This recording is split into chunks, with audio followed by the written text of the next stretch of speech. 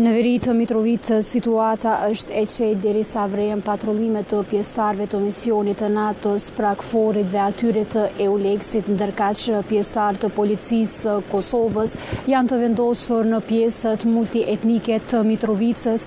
ku edhe momentalisht ne ndodhemi tani pra në lagjen e boshnjakëve si dhe tek tre rrokaqiejt Ne siç e kemi përshkruar situatën edhe nga raportimet paraprake nuk ka ndonjë zhvillim tjetër, ndërkaq sa i përket sulmeve përmes një njoftimi Policia e Kosovës ka njoftuar për një sulm i cili kishte ndodhur rreth orës dy e njëzet gjatë natës ku ishin sulmuar disa lokale si pasojë edhe janë thyer xhamat e atyre lokaleve dy prej të cilave nuk është se kanë funksionuar. Sipas Policisë, Autori i këtyre ngjarjeve, si të dyshuar, janë pikërisht bandat kriminale të cilat funksionojnë, të cilat funksionojnë në pjesën e të cilat funksionojnë në pjesën e e veriut. Ndërkaq nuk është se ka ndonjë informacion tjetër për të cilën mund të raportojmë përpos asaj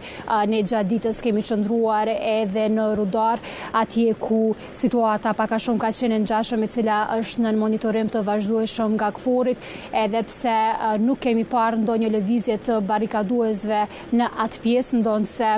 të njëjtit kishin paralajmëruar që do të ketë kremtim të një feste zyrtare ortodokse, nuk ka pasur një gjë të tillë dhe nuk është vërejtur ndonjë lëvizje qoftë nga banorët apo qoftë e ndonjë lëvizje për një organizim të tillë. Kiki nëse nuk ke diçka për të pyetur, këto janë informacionet që ne kemi arritur t'i marrim gjatë kohës sa kemi qëndruar në veri të Mitrovicës dhe jo vetëm. Genta, dua të pyes sa është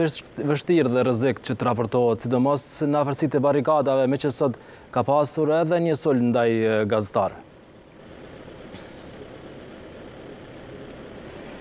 Po në fakt është raportuar për një sulm që është bërë në drejtim të një medie këtu në Kosovë, konkretisht pra në pje në Zubin Potok në fshatin Çabër, ndonëse personalisht kam raportuar nga fshati Rudar, atje situata ka qenë e qetë siç e theksova edhe më parë, nuk është parë ndonjë lëvizje e banorëve apo e ndonjë qytetari tjetër,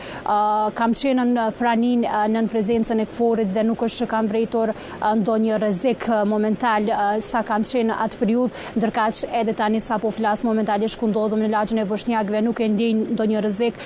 ndonëse situatat këtu janë të paparamenduara në veri të vendit siç e kemi mësuar tashmë nga përvojat paraprake. Kjo është çka mund të vlerësoj nga opinioni im.